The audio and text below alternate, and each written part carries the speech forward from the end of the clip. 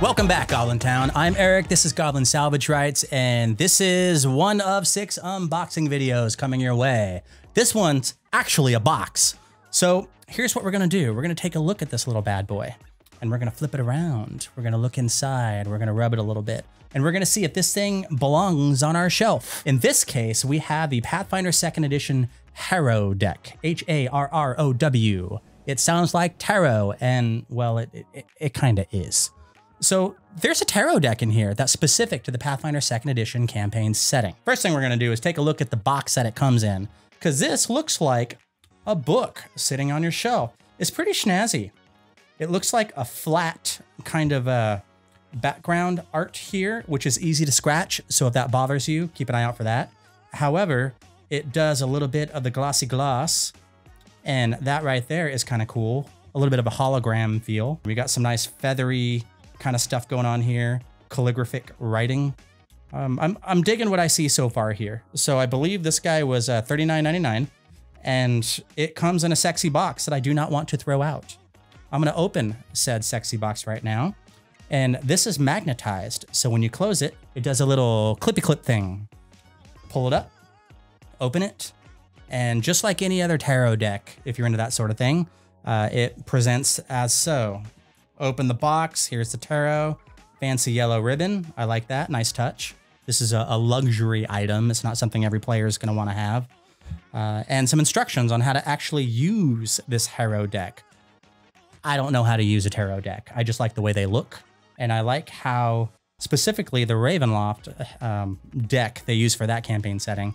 I use that to write adventures, more on that later. The first thing I'm noticing is that there's a combination of a glossy quality around the perimeter of the artwork. It shimmers, see? It shimmers.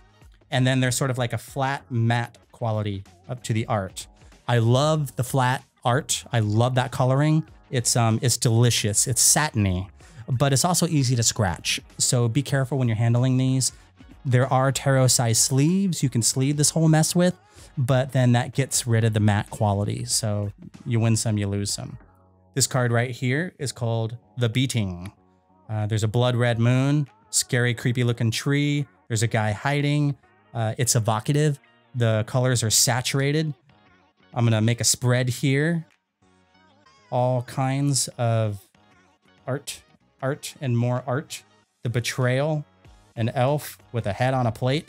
That's evocative that's that side. You look at the back of these and they're super shimmery, glossy, almost like those old basketball card uh, holograms they used to make. I don't know if they still do those anymore. That's pretty amazing. You got the matte quality between the glossy.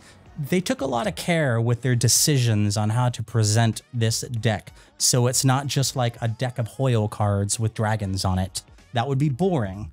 Uh, th there was a lot of really cool stuff and thought gone into this. At the end of the day, when you're done using this, what do you do with it? Well, with any other tarot deck, you probably wrap it in a piece of cloth or something to keep it safe.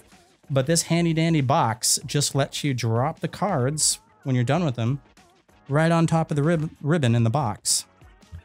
It's nice and smooth. You put that there and you close said box with or without the rulebook. I'm totally going to throw that away. And clicky click.